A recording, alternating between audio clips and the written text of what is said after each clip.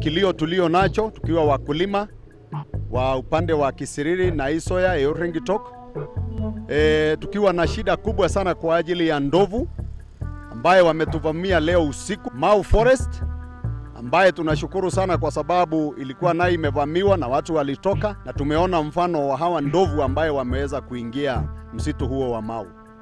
Jambo lile ningetaka kuwaeleza, ukivuka mto wa Siginder kuna human settlement hapo na kuna vyakula, lakini naye watu wako hapo na wamelima mashamba yao, wana chakula, tunalisha watu wengi sana. Vyakula vyetu vimekuwa na shida kwa ajili ya baridi. Sasa tukirudi kuona tumevamiwa tena na ndovu, tunaomba serikali waje waangalie vile wataweza kufanya.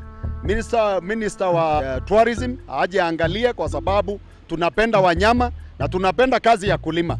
Kwa hivyo leo tumepata hasara sana, watu wetu hawajalala usiku kwa ajili ya ndovu hawa. Kwa hivyo tunaomba sana mje muangalie vile mtafanya kwa ajili ya hawa wanyama.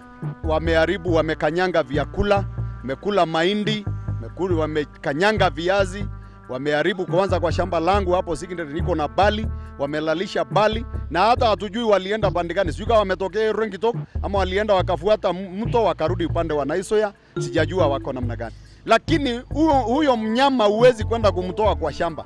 Ni kelele tu watu wamepiga na kupiga mabati kujaribu kufukuza, lakini hawezi toroka, lakini wamekula mpaka asubuhi. So naanza sema ile distraction wamefanya haiwezi kosa kutoka 100,000 200,000 hapo. Shamba yangu mimi wamelalisha bali na ninaweza sema pengine ile bali wamelalisha kama ni kama kitu kama nusu eka hivi. Askari wa forest wako pale e, Naisoya.